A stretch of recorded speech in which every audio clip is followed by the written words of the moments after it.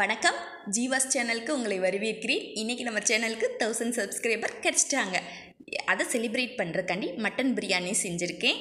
எனக்கு thousand subscriber கிடைச்சதுக்கு காரணமாக இருந்த சப்ஸ்கிரைபருக்கும் நம்மளோட ஃப்ரெண்ட்ஸுக்கும் ரொம்ப ரொம்ப நன்றி. வாங்க வீடியோக்குள்ளே போயிடலாம். இன்றைக்கி நம்ம சேனலில் என்ன பார்க்க போகிறோன்னா மட்டன் பிரியாணி பண்ண போகிறோம் பார்க்கவே எவ்வளோ அழகாக சூப்பராக இருக்குது தெரியுது? வாங்க வீடியோக்குள்ளே போய் எப்படி செய்கிறதுன்னு பார்த்துடலாம். மட்டன் பிரியாணி டபரா வச்சு செய்ய போகிறோம் மட்டன் பிரியாணி செய்கிறதுக்கு தேவையான பொருட்கள்லாம் எடுத்து வச்சுருக்கேன். அரை கிலோ மட்டன் க்ளீன் பண்ணி எடுத்து வச்சுருக்கேன். அடுத்ததாக பார்த்தீங்கன்னா பெரிய வெங்காயம் ஒரு அஞ்சு பெரிய வெங்காயம் எடுத்து உரிச்சு வச்சுருக்கேன். மூணு தக்காளி எடுத்திருக்கேன். அடுத்ததாக பார்த்தீங்கன்னா சின்ன வெங்காயம் ஒரு ஐம்பது கிராம் கிட்ட எடுத்து உரிச்சு வச்சுருக்கேன். இதை வந்து நம்ம ஒன்றும் பாதியமாக அரைச்சிக்க போகிறோம் அப்புறம் மூணு பச்சை மிளகாய் எடுத்திருக்கேன். இஞ்சி பூண்டு விழுது ஒரு மூணு ஸ்பூன் கிட்ட வேணும் தேவைப்பட எடுத்திருக்கேன் அடுத்ததாக பார்த்தீங்கன்னா லெமன் இது வந்து ஒரு சின்ன சைஸ் லெமனாக இருக்கிறதுனால நான் வந்து ரெண்டு எடுத்திருக்கேன். பெரிய சைஸ்னால் ஒன்றே போதும். அடுத்து பார்த்தீங்கன்னா தாளிக்கிறதுக்கு தேவையானதாக சை ஸ்பைசஸ் ஐட்டம்லாம் எடுத்து வச்சுருக்கேன். பிரியாணி இலை கிராம்பு பட்டை அன்னாச்சிப்பூ ஏலக்காய் எடுத்து வச்சுருக்கேன். தாளிக்கிறதுக்கு எண்ணெய் நெய் ரெண்டும் எடுத்து வச்சுருக்கேன். அடுத்ததாக பார்த்தீங்கன்னா மண் மிளகாய்த்தூள் மஞ்சள் தூள் கரம் மசாலா தூள் எடுத்து வச்சுருக்கேன். அரிசி வந்து பார்த்தீங்கன்னா ஒரு நாலு டம்ளர் அரிசி எடுத்து வச்சுருக்கேன். இந்த பார்த்தீங்கன்னா இந்த டம்ளரில் தான் வந்து எடுத்து ஊற வச்சு வச்சுருக்கேன். பாஸ்மதி ரைஸ் தான். பாஸ்மதி ரைஸ் தான் எடுத்து ஊற வச்சுருக்கேன். அடுத்ததாக புதினா மல்லி எடுத்து வச்சுருக்கேன். புதினாவும் மல்லியும். ஒரு கப்பு தயிர். ஒரு கப்பு வந்து தயிர் எடுத்து வச்சுருக்கேன். வாங்க இப்போது எப்படி செய்கிறதுன்னு பார்த்துடலாம் இப்போது டபராவை காய வச்சு எண்ணெய் ஊற்றிக்கலாம் அது கூட ஒரு ரெண்டு ஸ்பூன் நெய் விட்டுக்கலாம். நல்லா பெரிய ஸ்பூனாகவே விட்டுக்கலாம். இப்போ நெய் காஞ்சிச்சு நம்ம ஸ்பைசஸ் எல்லாம் போட்டு வறுத்துக்கலாம்.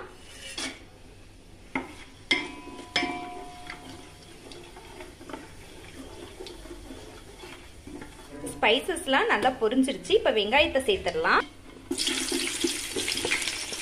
நம்ம வெங்காயத்தை கட் பண்ணியாச்சு. கட் பண்ணி நீல வாக்கில் கட் பண்ணி வதக்கிக்கலாம்.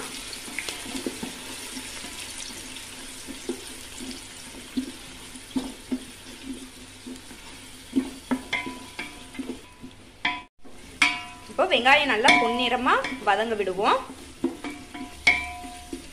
வெங்காயம் நமக்கு எந்த அளவுக்கு வதங்குதோ அந்த அளவுக்கு நமக்கு நல்ல டேஸ்ட் கொடுக்கும். இப்போ கட் பண்ணி வச்சிருக்க பச்சை மிளகாயை சேர்த்துடலாம். மூணு பச்சை மிளகாய் நீல வாக்கில் கட் பண்ணி வச்சிருக்கேன். அதையும் சேர்த்துடலாம். வதங்குறதுக்காண்டி கொஞ்சோண்டு உப்பு சேர்த்துக்கலாம். கொஞ்சமாக சேர்த்துக்குவோம். போதும். சேர்த்துட்டு நல்லா வதக்கி விடுவோம். வெங்காயமும் பச்சை மிளகாயும் நல்லா பொன்னிறமாக வதங்கி வரட்டும். இப்போ பெரிய வெங்காயம் பாதி வதங்கிடுச்சு. வெங்காய விழுதையும் சேர்த்து நல்லா வதக்கி விட்டுக்கலாம் கூடவேவும் இப்போ வெங்காயம் நல்லா வதங்கிடுச்சு. இப்போ நம்ம இஞ்சி பூண்டு விழுது சேர்த்துடலாம். இஞ்சி பூண்டு விழுது ஒரு மூணு ஸ்பூன் கிட்ட சேர்த்துக்கலாம்.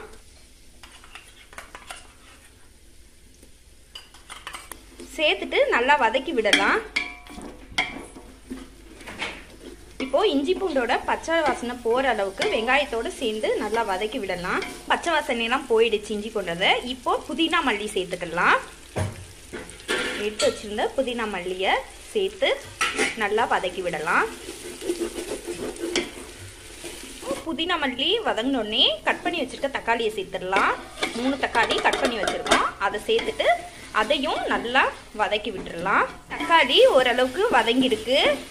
இந்த மாதிரி இருக்கிறப்ப நம்ம வந்து மட்டனை சேர்த்துக்கலாம். அரை கிலோ மட்டனை சேர்த்து நம்ம வதக்கி விடணும் இது கூடவேவும்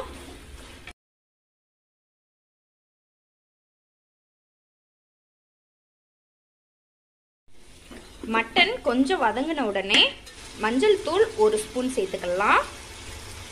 மிளகாய் தூள் ரெண்டு ஸ்பூன் போட்டுக்கலாம். போட்டுட்டு கொஞ்சமா வதக்கி விட்டுக்கலாம். கொஞ்சம் வதக்கி விட்டுருக்கு. அப்புறமா ஒரு ஸ்பூன் கரம் மசாலா தூள் போட்டுக்கலாம். போட்டுட்டு அதையும் சேர்த்து வதக்கி விடலாம். இப்போது மட்டனுக்கு தேவையான அளவு உப்பு சேர்த்துக்கலாம். மட்டனுக்கு மட்டும் தேவையான அளவு சேர்த்துக்கலாம். சேர்த்துட்டு நல்லா வதக்கி விட்டுறலாம். இப்போது பச்சை வாசனை மசாலா பொடியோட பச்சை வாசனை எல்லாம் போகிற அளவுக்கு வதங்கட்டும். இப்போது கொஞ்சம் பச்சை வாசனை போயிடுச்சு. இப்போ ஒரு கப் தயிர் நம்ம எடுத்து வச்சிருக்கிறத சேர்த்துடலாம். சேர்த்துட்டு தயிர் சேர்த்துட்டு நல்லா கொஞ்சம் வதக்கி விடுவோம்.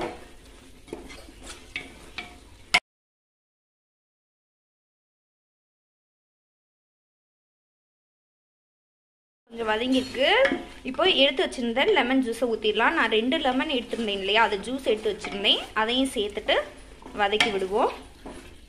இப்போ இதை மூடி போட்டு ஒரு நாற்பது நிமிஷத்துக்கு நல்லா வதங்க விடணும்.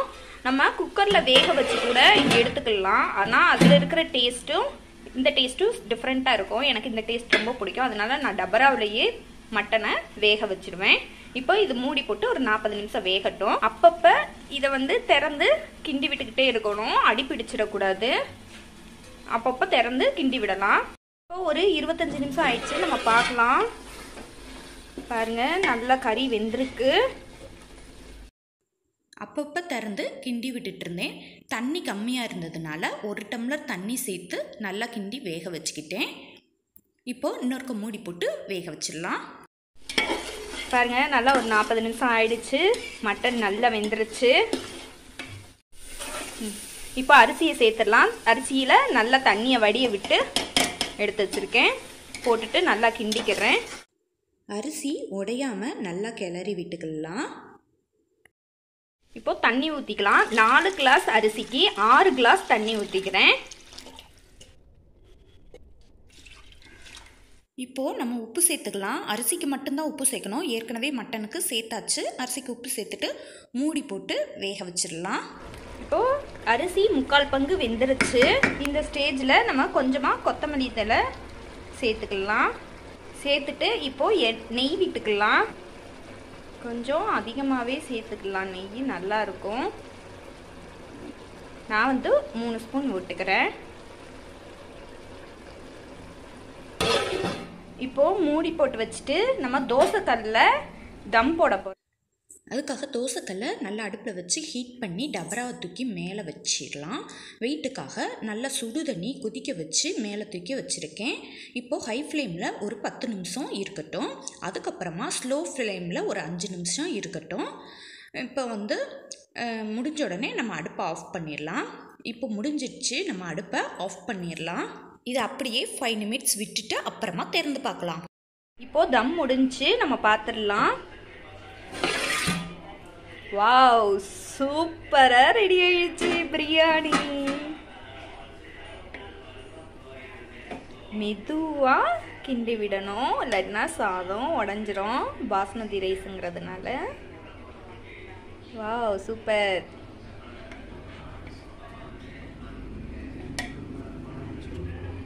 மாத்திட்டு உங்களுக்கு காட்டுறேன். பாருங்க சூப்பரா நமக்கு பிரியாணி ரெடி ஆயிடுச்சு. ரொம்ப டேஸ்ட்டாக இருக்குங்க.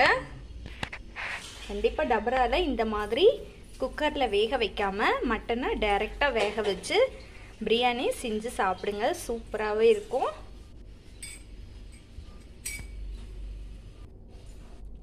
டேஸ்ட் பண்ணிடலாம். பாருங்கள் சூப்பராக கலராக சூப்பராக இருக்குது